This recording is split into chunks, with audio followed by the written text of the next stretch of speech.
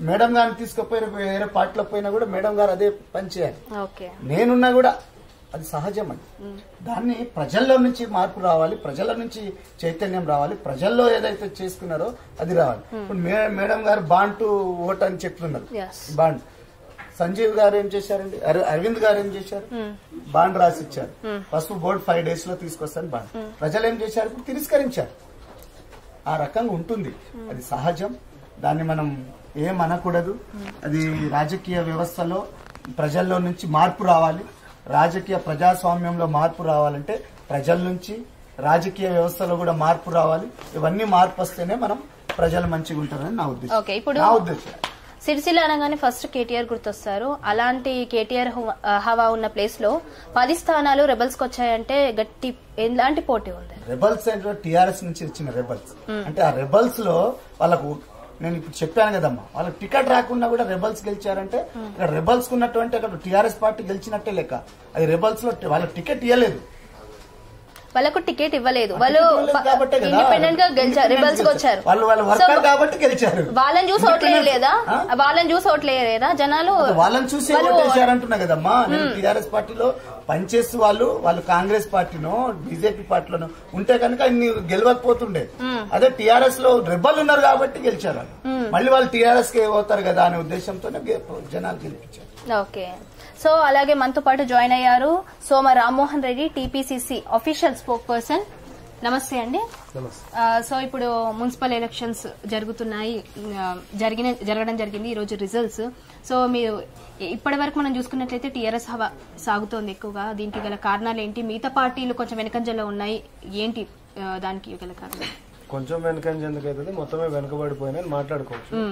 ఎందుకంటే ఓపెన్గా నిజాలను మాట్లాడుకుంటున్నప్పుడే మన లోపల జరుగుతున్నటువంటి ఈ యొక్క సమస్యలని రేపు పొద్దున పరిష్కరించుకునేటటువంటి ఆస్కారం ఉంటుంది కాబట్టి టిఆర్ఎస్ పార్టీ అంటే ముందు నుంచి అనుకుంటున్నటువంటి వ్యూహాలు కానీ ప్రతి వ్యూహాలు కానీ వాళ్ళ యొక్క వార్డుల విభజన దగ్గరికి నుంచి మొదలు పెట్టుకుంటే అభ్యర్థుల ఎన్నిక దాకా. ప్రతి దగ్గర కూడా అడుగడుగున వాళ్ళు తీసుకుంటున్నటువంటి ప్రతి ప్రికాషనరీ మెజర్ ఈరోజు సక్సెస్ఫుల్గా మనం ఈరోజు రిజల్ట్ల రూపకంగా మనం చూస్తా ఉన్నాం. కానీ కాంగ్రెస్ పార్టీ విషయంలో మనం తీసుకుంటే అభ్యర్థుల ఖరారు దగ్గరికి ఎంచి తీసుకున్నా కూడా సరైనటువంటి సమయం లేకుండా లేకపోతే ఉంటున్నటువంటి వాటిలలో కూడా ఆల్రెడీ కాంగ్రెస్ నుంచి గెలిచినటువంటి శాసనసభ్యులు వాళ్ళని వాళ్ళ పార్టీలకు తీసుకుంటే కింద క్షేత్రస్థాయి నుంచి క్యాడరే కానీ లేకపోతే ఆ పైన ఉంటున్నటువంటి సెకండ్ కేటగిరీ లీడర్షిప్పే కానీ అందరూ కూడా పోవడం అక్కడ అభ్యర్థుల దగ్గర తటస్థ పరిస్థితులు ఎదుర్కోవడం అనేక సందర్భాలలో అనేక స్థానాలలో ఈరోజు జరిగినటువంటి యొక్క పరిణామాలకి ఈరోజు మేము పే చేసినటువంటి థింగ్ ఈరోజు మాకు కనిపిస్తా ఉంది. కానీ భవిష్యత్తులో ఇది ఇదే కంటిన్యూ అవుతుందా అనేటటువంటిది మాత్రం లేదు. ముప్పై ఏడు శాతంతో ఈరోజు ఓట్ శాతంతో తెలంగాణలో ఉంటున్నటువంటి కాంగ్రెస్ పార్టీ ఒక దగ్గర మాత్రం మేము ఈరోజు చెతికిలబడ్డామని మేము చెప్పుకోవాలి. అండ్ ఒకటి మేము అంగీకరించాలి కూడా.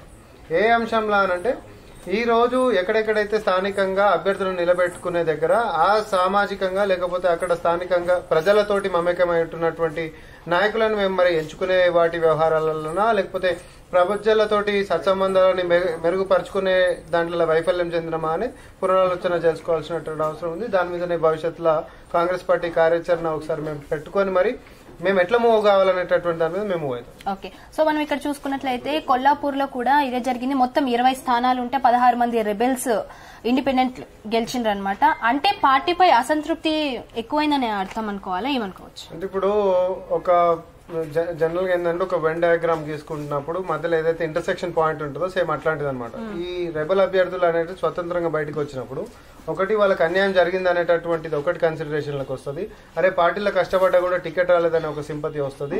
అదే విధంగా న్యూట్రల్గా ఏ జెండా నుంచి లేకపోయేసరికి న్యూట్రల్ ఓటర్స్ అందరినీ కూడా he will draw their attention అనమాట అందరి దగ్గర నుంచి తీసుకొని ఏది ఏమైనా rebels first of all rebel లెక్క వేసిండానంటేనే అంతో ఎంతో లోకల్గా ఆ, సంస్థాగతంగా ఆయనకు పట్టు లేకుండా అయితే పోడు కదా. కాబట్టి ఇవన్నీ ప్లస్ అయిపోయి ఇది ఒక్క దగ్గరనే కాదు జరిగినటువంటి మొత్తం నూట ఇరవై మున్సిపాలిటీలలో కూడా రెబల్లు వాళ్ళ యొక్క స్థానాలను మాత్రం నిలబెట్టుకురు వాళ్ళ యొక్క ఉనికి మాత్రం ప్రపంచానికి చాటి చెప్పారని అయితే చెప్పుకోవాలి అది కాంగ్రెస్ పార్టీ నుంచి ఇప్పుడు రికార్డు స్థాయిలో రెబల్ ఎక్కడి నుంచి పడ్డారు అని అంటే అటు టీఆర్ఎస్ నుంచి కానీ కాంగ్రెస్ నుంచి కానీ మనం చూసుకుంటే ఇల్లందు మున్సిపాలిటీ నుంచి ఎక్కువ పడ్డారు మొత్తం తెలంగాణలో మనం తీసుకుంటే. ఇప్పుడు ఆడ చూడు ఆడ కూడా రెబల్స్ రిజల్ట్స్ ఎక్కువ వచ్చినాయి.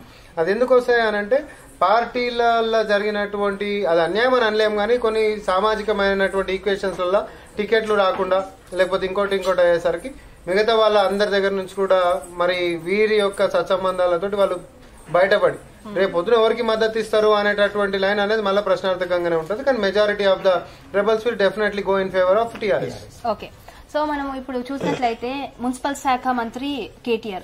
అంటే వీళ్ళకు సీట్లు ఇవ్వలేరు అనే అసంతృప్తితో కొందరు బయటకు వెళ్ళారు అంటే వీరి అంటే అంతకుముందు కూడా ప్రకటించారు. ఎవరైతే రెబల్స్గా నిల్- నిల్చుంటారో వాళ్ళు పార్టీ నుంచి సస్పెండ్ చేయాలి అని మనకు వినిపించాయి. అంటే వీరి విషయంలో వీళ్ళు స్ట్రాంగ్ క్యాండిడేట్స్ ఇట్లా అని వీళ్ళ సత్తా చూడలేకనా? అంటే వీరి విషయంలో విఫలమైపోయారని అనుకోవచ్చా కేటీఆర్? విఫలమని ఏమనుకోవద్దు. ఇది రాజకీయం రాజకీయ భాష ఇట్లనే ఉంటుంది ఎప్పుడైనా.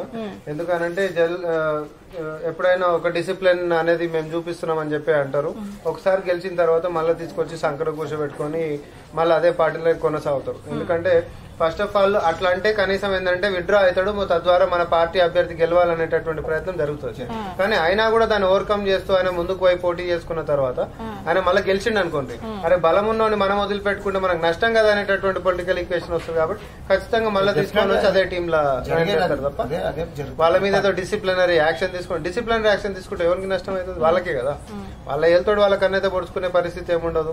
కాబట్టి రాజకీయ భాష ఎన్నికల కన్నా ముంగట అట్లనే ఉంటది. ఎన్నికల తర్వాత అందరినీ మళ్ళీ సొంత పిల్లలు లెక్కనే చూస్తారు కాబట్టి ఇబ్బంది ఏముండదు సో ఇప్పుడు బయటకు వెళ్ళిన వాళ్ళందరూ కూడా మళ్ళీ టీఆర్ఎస్లో చేరే ఛాన్సెస్ ఉంటాయి. అంతే కదా ఏ గుటి పక్షులు ఆ గుటికే చేరుతాయి అదే. రెబల్స్ కాంగ్రెస్ పార్టీ- గుటి పక్షులు టీఆర్ఎస్లకు తీసుకుంటుంటే సొంత గుటి పక్షులు టీఆర్ఎస్లకు చేస్తాయి? మెయిన్ థింగ్ దీని కారణం కూడా ఏముంటది అంటే say for example Congress party పైన అధికారంలో ఉందనుకోండి ఖచ్చితంగా ఇవన్నీ గూటి పక్షులు అనేటివి అధికార పార్టీ దిక్కుపోతాయి. వీటికి ఒక గూడు అంటే గూడు ఇన్ ద సెన్స్ ఒక పార్టీ అనేది ఏముండదు. అధికారం అనేటటువంటి ఎక్కడైతే ఉందో అధికారం అనేటటువంటి దానికి బెల్లం ఉన్న దగ్గరికి ఈగలు పోయినట్టుగా ఇవన్నీ ఎక్కడ అధికారం ఉంటే అక్కడ సైడ్ పోతాయి కాబట్టి ఇప్పుడు టీఆర్ఎస్ ఉంది. No doubt these all people will go in favour of TRS ఇప్పుడు చాలా మంది కూడా ప్రభుత్వం ఏదైతుందో దానికి సంబంధించిన పార్టీ గెలిస్తేనే మనకు అభివృద్ధి జరుగుతుందని కొందరు నమ్ముతారు. ఇంకొందరు ఏంటంటే ప్రస్తుతం ఉన్న దాని మీద అసహనం చెంది వేరే పార్టీకి ఓటేస్తారు. ఇప్పుడు వేరే పార్టీ వాళ్ళకు కంపల్సరీ ఏ ఉన్న ఫండ్స్ మనకు ఇప్పుడు ఏదైతే అధికార పార్టీ ఉందో అవే ఇవ్వాలి. సో అలాంటి ఏమంటారు? ఉంటుందంటారా మంచి understanding there is a difference ఒకటి ఏంది అని అంటే అసెంబ్లీ సెగ్మెంట్ ఎన్నికల కాడికి వచ్చేసేసరికి ఏమో మొత్తం ప్రభుత్వాన్ని మార్చేటటువంటి రాజకీయం జరుగుతుంది. అవును. ఎన్నికలు జరుగుతాయి. దాని తర్వాత జరుగుతున్నటువంటి జిల్లా పరిషత్ కానీ గ్రామ పంచాయతీలు కానీ లేకపోతే ఎంపీటీసీలు కానీ ఇప్పుడు జరుగుతున్న మున్సిపల్ ఎన్నికలు కానీ కార్పొరేషన్స్ కానీ ఈ సబ్సీక్వెంట్గా కింద ఉంటున్నటువంటి grass root though they autonomous system అయినప్పటికీ కూడా సబ్సీక్వెంట్ ఉంది. పైన మాత్రం నిర్ణయాలు తీసుకునేటటువంటి అధికారం ఎవరికి రాష్ట్ర ప్రభుత్వానికి ఉంటుంది. రాష్ట్ర ప్రభుత్వం ఎవరు ఆల్రెడీ టీఆర్ఎస్ ఉంది. కాబట్టి దీనికి ఖిలాఫ్గా మళ్ళీ పోవాల్సినటువంటి అవసరం ఏముంది అనేటటువంటి మీరు అన్నట్టుగా అట్లా ఫేవర్గా పడేటటువంటి ఓటు శాతం ఎక్కువ ఉంటుంది but at the same time anti incumbency అని అంటే పది సంవత్సరాలకు మనం ఒకసారి మన తెలంగాణనే కాదు ఉమ్మడి ఆంధ్రప్రదేశ్ చరిత్ర తీసుకుంటే కూడా పది సంవత్సరాలకు ఒకసారిగానే యాంటీ ఇన్కంబన్సీ అనేటటువంటి ఒక ఆ- భావాలు మనకు మన యొక్క హిస్టరీలో కనిపిస్తున్నాయి తప్ప ఐదు సంవత్సరాలకి యాంటీ ఇన్కంబన్సీ ప్రివేల్ అవుతూ జనాల్ని ప్రభుత్వాలను మార్చేటటువంటి సిస్టమ్కి ఇంకా మనం రాలే. తమిళనాడు సిస్టమ్ లెక్క మనం లేం. అదే ఈడ పరిస్థితులు ఏడ మారుతాయి ఎప్పుడు మారుతాయి అని అంటే పది సంవత్సరాల దాకా పోయి ఈ రోజు ఏదైతే ఆశిస్తారో కొత్త ప్రభుత్వము మళ్ళీ కొత్త నాయకత్వము రానిండి చూద్దాం. వీళ్ళకి ఇచ్చినటువంటి గడువు సరిపోలేదు. మొన్నటిదాకా అంటే ఈ రోజు అవినీతి రహితమైనటువంటి పాలన ఇస్తా అంటుండు మళ్ళీ అద్దాల లెక్క మెరిసే రోడ్లు ఇస్తా అంటుండు లేకపోతే చెత్తబడని మోరీలు చూపిస్తా అని అంటుండు లేకపోతే ఉద్యోగం లేని ఇల్లు ఇస్తా అంటుండు కాబట్టి ఐ మీన్ ఉద్యోగం ఉన్న ఇల్లు ఇస్తా అంటుండు కాబట్టి ఇన్ని చేస్తా అంటుండే ఇంకొక అవకాశం అనేటటువంటిది కూడా ఇచ్చిర్రు.